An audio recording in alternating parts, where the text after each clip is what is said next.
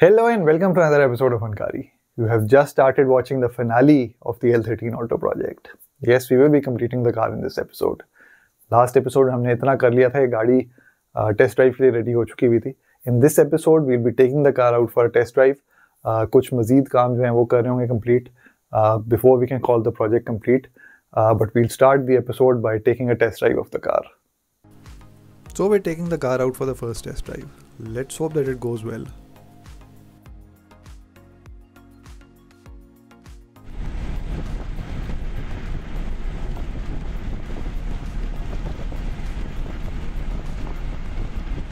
At this point in time, I should have had more coverage of the test drive, uh, but unfortunately, I don't. Uh, but I will comment on how the test drive went. Uh, the test drive went very smooth.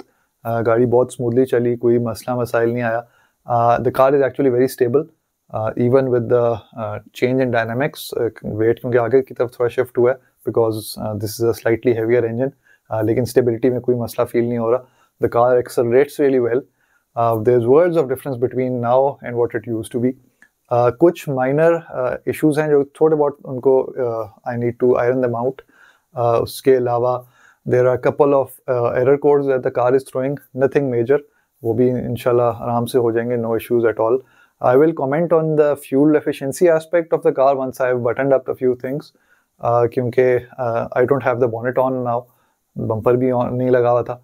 तो I couldn't accelerate the car very well plus I couldn't drive it a lot once I have done all that uh, then I'll be able to drive the car more and comment on the fuel efficiency.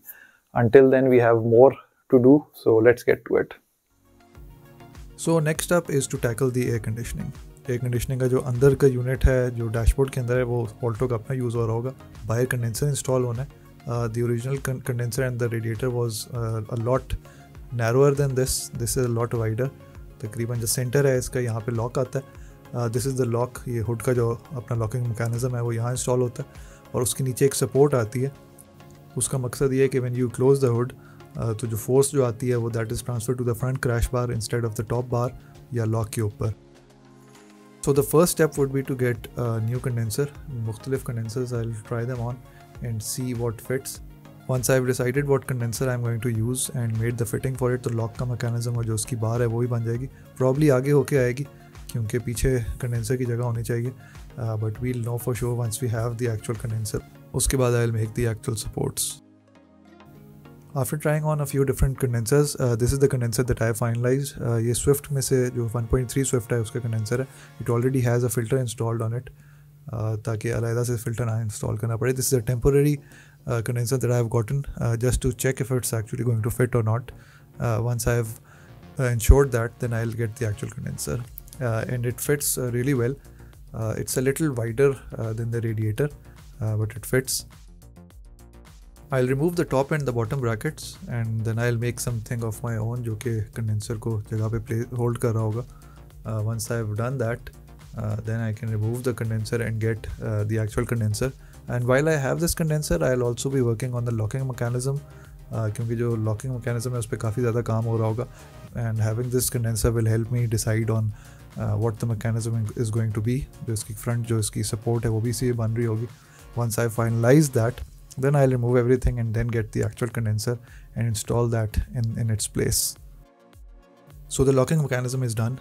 Uh, जो इसका lock है it is the standard part लेकिन उसको I have cut it और उसको I have modified and brought the system the whole of the mechanism to the front जो इसका अपना मैकेनिज्म था it was at the back but we don't have enough space for it इसलिए जो सारा mechanism I have brought it to the front so that we have enough space at the back to install the condenser अब काफ़ी space बन गया between the radiator and the lock तो इसके अंदर कंडेंसर पूरा आ सकेगा। I have tested the locking mechanism it works perfectly कोई मसला नहीं आ रहा। This is the base this is the support that I have made for the lock ताकि हुड जब बंद हो तो उस वक्त उसका जो लोड है वो सारा इस सपोर्ट के ऊपर आ रहा हो instead of the lock itself या जो टॉप पार्ट है उसका।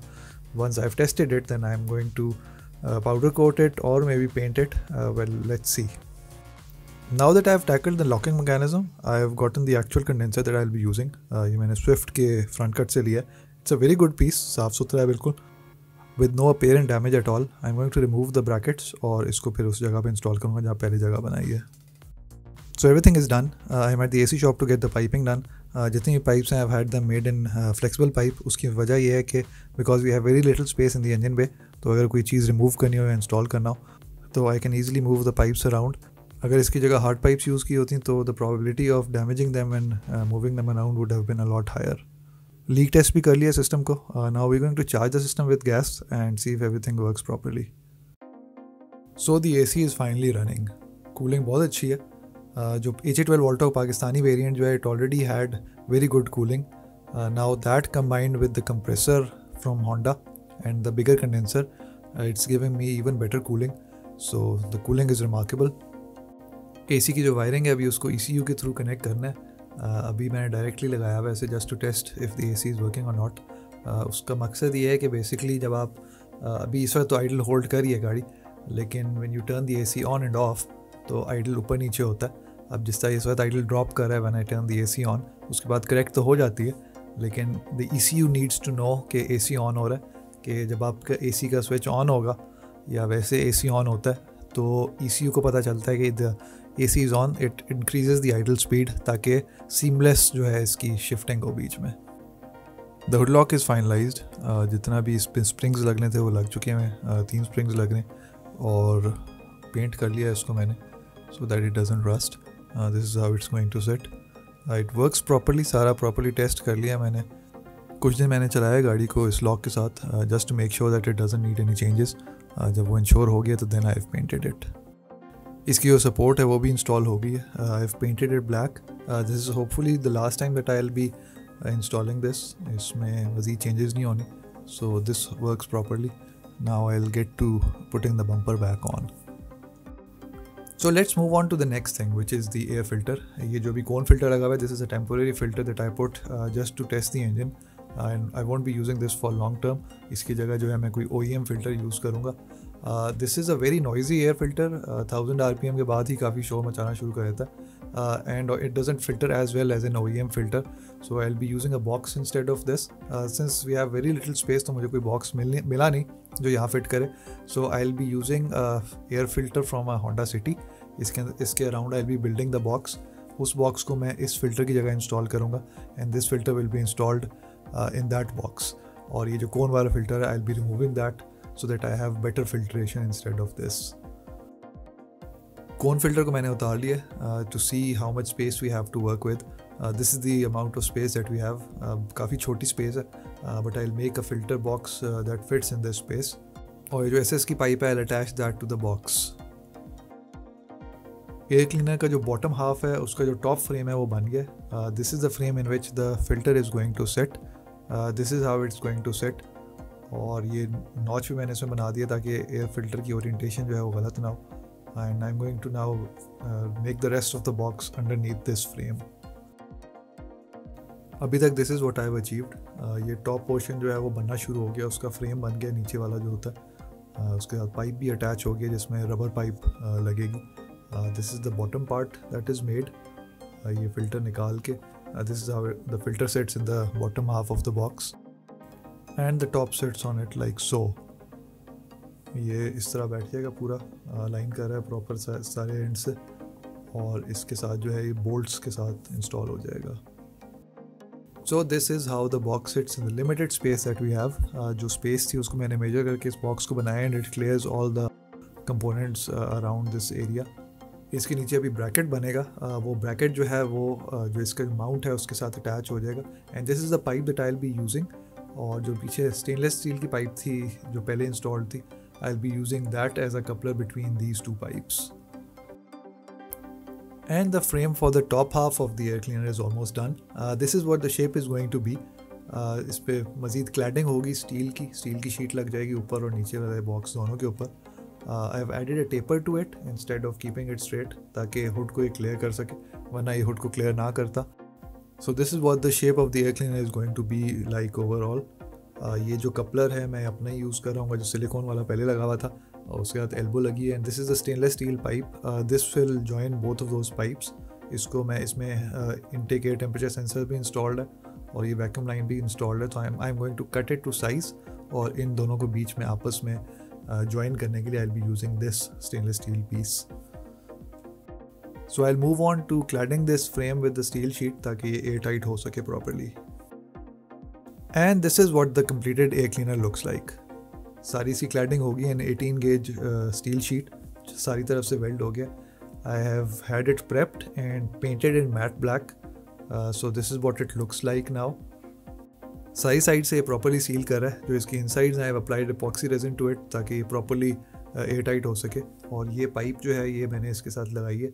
यहाँ से फ्रेश एयर जा रही होगी and I will be routing it away from the major heat sources जैसे एग्जॉस्ट हो गया या दूसरी चीज़ें।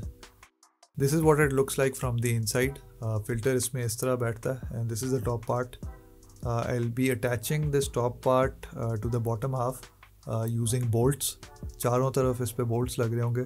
These bolts will hold it in place and they'll ensure that the air cleaner is sealed properly. And this is what it looks like installed in the car. ये जो coupling है, ये मैंने जिस तरह पहले बताया था स्टेनलेस स्टील की पाइप को I cut it down to size और इन दोनों जो रबर और सिलिकॉन का जो पार्ट्स हैं, इन दोनों को आपस में ज्वाइन कर है। सिलिकॉन का pipe and this is how the air cleaner sets and this is what it looks like इसको जो इंस्टॉल करने के लिए आई यूज्ड बोल्ट्स चार तरफ़ इसके बोल्ट्स लग रहे होंगे, यहाँ यहाँ और जो फ्रंट पे दो हैं, यहाँ पे दो इंस्टॉल होंगे so all you have to do is open the bolts and replace the air filter and then place the bolts back in. I wanted to use clips here but I didn't have enough space for them to work so the bolts will have to do. Next up is installing this circuit that I have made uh, with the help of a friend. इसका मकसद ये है कि this is the speedometer that I have already installed it's from a Suzuki की उसका जो auto transmission auto variant जो है उसका it has the transmission indicator lights जो कि जिसमें आपके शिफ्टर की जो पोजीशन होती है, ये उसको इंडिकेट कर रहा होता है कि what position you gear position are you in so why do we need the circuit and what does it do जो ट्रांसमिशन का जो लीवर है इट प्रोवाइड्स ग्राउंड जब आपकी पोजीशन शिफ्ट हो रही होती है। But what we need for the speedometer is positive twelve volts तो ये जो सर्किट है, उसकी, इसका काम ये है कि उस जो ग्राउंड मिल के इसको आगे ट्वेल्व वोल्ट्स स्पीडोमीटर को देना which can not be provided otherwise so this is going to do that I am going to connect this and see it it works I have connected the circuit and this is what it looks like सारी जो position हैं gear की उस पर properly show कर रहा है। Backlight थोड़ी इसकी ज़्यादा ब्राइट है। I am going to make it dim ताकि uh, इसकी जो सिलेक्शन है वो प्रॉपरली शो हो रही हो। And the car is ready for its first long journey. I fueled it up and I'll be taking the car on a long journey to Peshawar. I'll be testing it thoroughly uh, during the trip. कुछ wiring जो है वो रहती है इसकी। Mostly it's done सिर्फ़ थोड़ी सी जो है उसको I need to wrap it up और अभी जो है मैं temporarily I connected Bluetooth scanner to it जो कि इस डिस्प्ले पे मुझे सारी इंपॉर्टेंट पैरामीटर्स जो है वो शो कर रहा है. So I can keep a check on everything during the journey ये ब्लूटूथ डिवाइस है जो कि uh, इसको डेटा ट्रांसमिट कर रही है. And this is it's also logging the data real time में तो शो कर रहा है लेकिन बाद में अगर इसको थरली देखना हो तो उसमें भी हेल्प करेगा ये.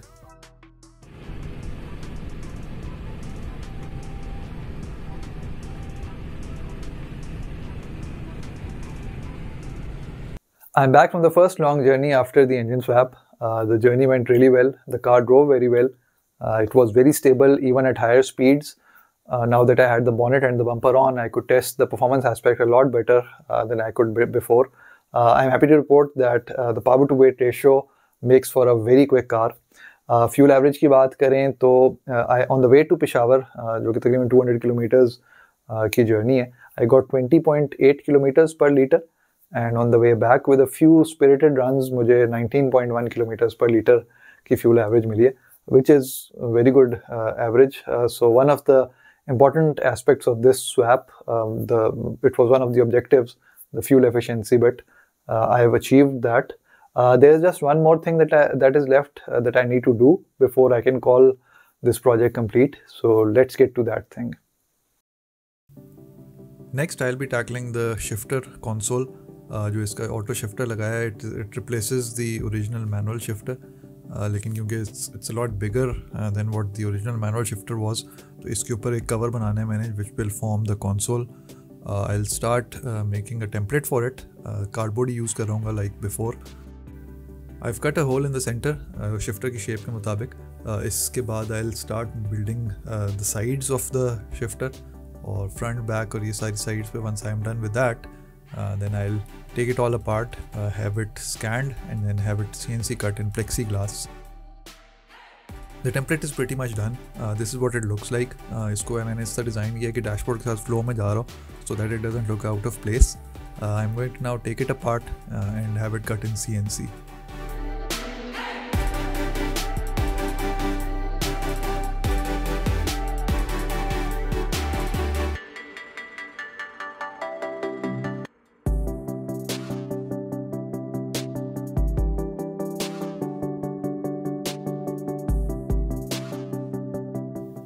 plexiglass parts are back from the CNC shop. Uh, these are the parts that are going to form the whole console. इनको आपस में जोड़ के I'll make the console. इन पे अभी film चढ़ी हुई है that protects them from scratches. I'll take that film off uh, to show you what it looks like. This is what the parts look like. Uh, clear plexiglass है in 4 mm thickness. Uh, I've selected clear ताकि इसके अंदर जब मैं आपस में इनको जोड़ रहा हूँ parts को I'll be able to see better क्योंकि it's transparent ताकि पता चल सके क्या चीज़ कहाँ प्लेस होनी है and it will be painted uh, anyway so uh, the color doesn't really matter. Parts को मैंने आपस में जोड़ लिया and this is what the console looks like now ये शेप होगी इसकी. I am going to prime it now and prep it for paint and then paint it in matt black the console is done this is what it looks like matt black में paint किया है और ये एक design feature मैंने इसमें add किया with Allen bolts I think it goes very well with the overall design of the thing This marks the end of the Project L13 Auto. The car is now complete and it will be daily driven as it was before uh, the engine swap. Uh, it's giving me great fuel average. Gadi auto convert ho chuki hai and it performs really well as well. If you remember, these were the three objectives that I started the project with and Alhamdulillah, I've been able to achieve uh, all three of them. Uh, brake upgrade, jo had it's still on the cards. Uh, I'll upgrade the front brakes to bigger rotors and uh, bigger calipers as well. Rear में I need to install a stabiliser bar originally इसमें stabiliser bar नहीं आती थी but it will help with the handling aspect of the car ये दोनों चीज़ें जो हैं they take some time they take some homework so whenever I do these I will share them here there will be more car related stuff on Funkari. So if you haven't subscribed to Funkari yet, please do so now and hit the bell icon. Uh, I will see you in the next episode. Uh, until then, let's take a look at the completed car.